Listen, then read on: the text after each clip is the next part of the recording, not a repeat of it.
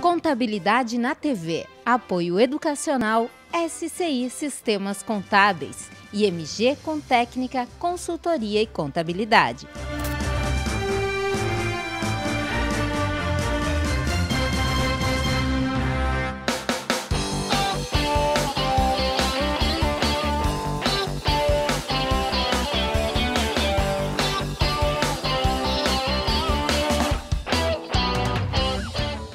Cidade de São José do Rio Preto recebeu empresários, profissionais e estudantes de contabilidade de todas as regiões do estado de São Paulo no oitavo encontro das empresas de serviços contábeis de São José do Rio Preto, Araçatuba e Marília.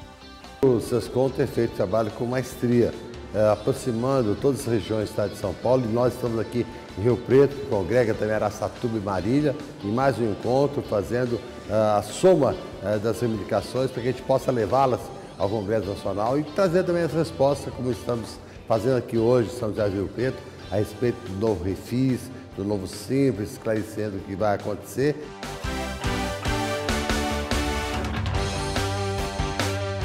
Nós somos uma classe Rio Preto cada vez se fortalecendo mais, né? Unindo forças, é, é, é buscando trazer conhecimento para todos os empresários, para toda a classe, para que se obtenha o resultado disso uma maior qualidade de prestação de serviços. Para a região, isso é importantíssimo.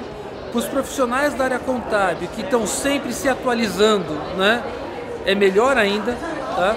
E assim, e todos ganham. A ideia de trazer oportunidades, discussões sobre desafios, discussões sobre é, aquilo que está acontecendo no dia a dia do empresário da contabilidade, que de certa forma afeta a sociedade em geral, é o que precisa ser discutido, não só na capital, mas em todo o estado de São Paulo. Nós teremos com certeza o termômetro, né? a partir da, da, da repercussão de todos, tudo aquilo que for tratado aqui nesse, nesse, nesse dia, o SESCOM poderá melhorar para as próximas uh, eventos ou manter essa grade como sendo a, a ideal para, para os demais três encontros que teremos até o final do ano. Nós conseguimos efetivamente melhorar e superar os eventos do ano passado que foram maravilhosos.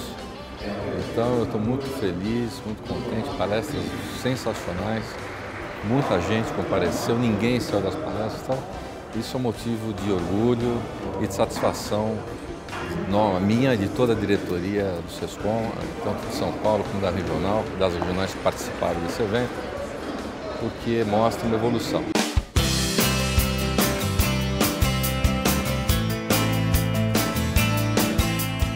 O evento, com um dia de duração, trouxe uma grade de palestras com temas técnicos e de gestão, além da oportunidade de trocar experiências com os demais participantes. O e-social ele vai coletar informações de, de, empregadores, de contribuintes, com o objetivo de, de é, alimentar as necessidades do Ministério do Trabalho, da Previdência Social, do, da Receita Federal, da Caixa e do Ministério da Previdência Social, tá?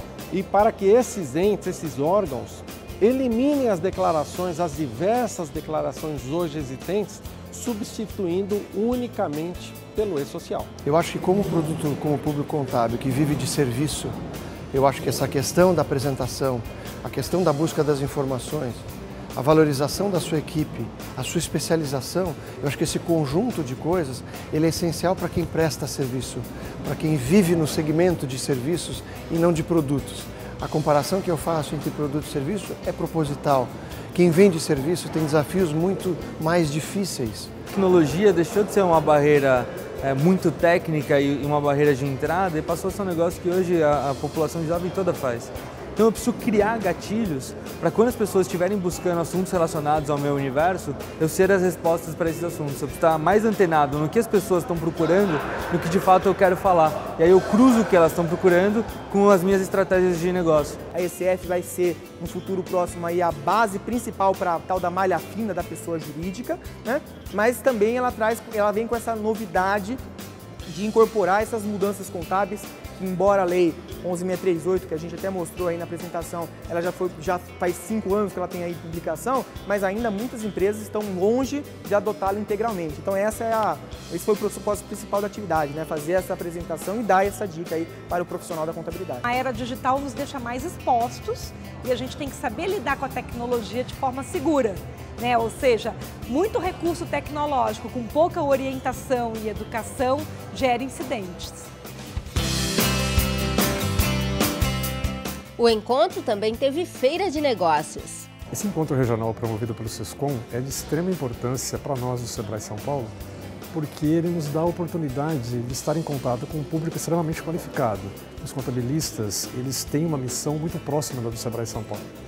E enxergo nesse momento uma oportunidade de parcerias para que juntos somamos esforços para levar cada vez mais orientação sobre gestão para esse público que é atendido pelo contabilista e que também é atendido pelo Sebrae São Paulo. Os eventos promovidos é, pelo SESCOM é de extrema importância na medida que atualiza o profissional da área, onde ele acaba percebendo que se ele não acompanhar as novas tecnologias do mercado, ele dificilmente vai conseguir dar o atendimento. É muito importante pela classe contábil estar junto do SESCOM, consolida o mercado em que a Serasa Experian deseja atuar com a parceria junto com o SESCOM. O oitavo encontro das empresas de serviços contábeis é uma realização do SESCOM São Paulo.